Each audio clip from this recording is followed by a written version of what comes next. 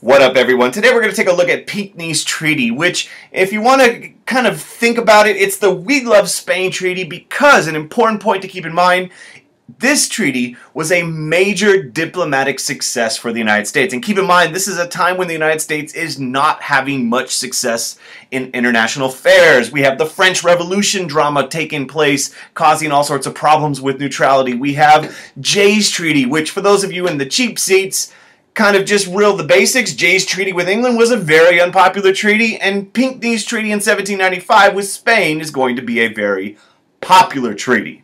So let's take a look at what this thing's all about. Remember, we've been having some problems with España. You know, eh, even during the Articles of Confederation, when we had a weak national government, Spain and England and other international powers were bullying the young nation.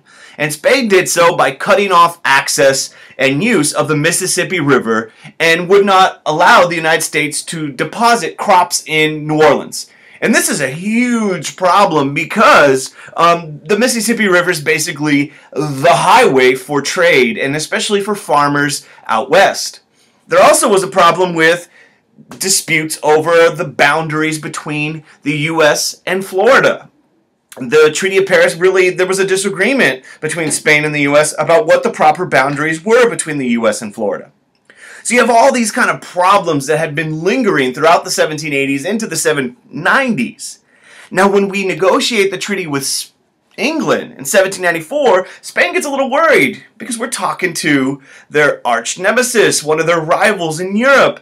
And Spain doesn't really want to see the US and England become cozy, so they become much more willing to negotiate. And so Thomas Pinckney helps negotiate this treaty, and here's what it does it's real simple.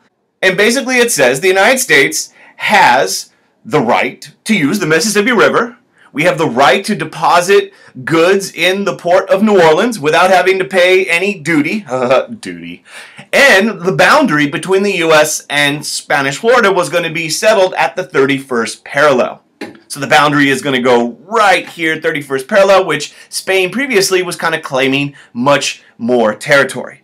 So this treaty solves a whole bunch of problems. It's a huge diplomatic success, and it's one of the real kind of victories for foreign policy under George Washington, and we're feeling really awesome. That's all we got for today for Pinckney's Treaty. If you like the video, subscribe to Jocz Productions, click like, tell a friend to check out the channel, and clean your damn belly button. It's dirty. Peace out.